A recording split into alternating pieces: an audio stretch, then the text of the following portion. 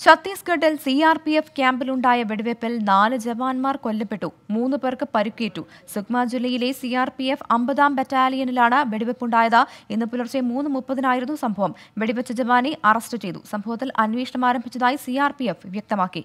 ഡൽഹിയിൽ നിന്നും ബൽറാം നെടുങ്ങാടി ചേരുന്നുണ്ട്. കൂടുതൽ വിവരങ്ങളുമായി ബൽറാം എന്താണ് ഛത്തീസ്ഗഡിൽ സംഭവിച്ചത്? ഇത്തരത്തിൽ ഈ ജവാൻ കൂടെയുള്ള മറ്റ് ജവാന്മാരെ കൊലപ്പെടുത്താനിടയായ സാഹചര്യം എന്താണെന്ന് വ്യക്തമാക്കിയിട്ടുണ്ടോ?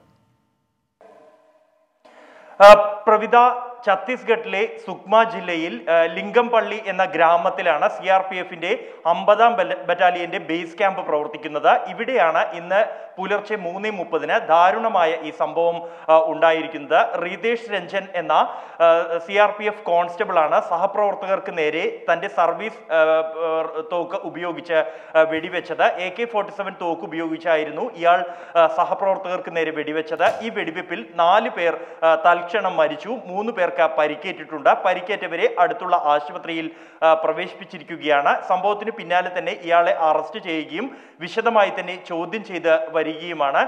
സംഭവ ഈ ഡ്യൂട്ടി സംബന്ധിച്ച് ഉണ്ടായ തർക്കമാണ് ഈ വെടിവെപ്പിൽ കലാശിച്ചത് എന്ന തരത്തിലുള്ള അനൌദ്യോഗിക റിപ്പോർട്ടുകളുണ്ട്. എന്നാൽ സി ആർ പി എഫ് ഇത് ഇതുവരെയും സ്ഥിരീകരിച്ചിട്ടില്ല. അന്വേഷണം നടന്നു വരുന്നു എന്നും ഇത് സംബന്ധിച്ചുള്ള വിശദാംശങ്ങൾ ഉടൻ ലഭ്യമാക്കും എന്നുമാണ് സി ആർ പി എഫ് അറിയിക്കുന്നത്. എന്തായാലും സംഭവത്തിൽ വിശദമായ അന്വേഷണം തന്നെ നടന്നു വരുന്നതായും സി ആർ പി എഫ് വ്യക്തമാക്കിയിട്ടുണ്ട്.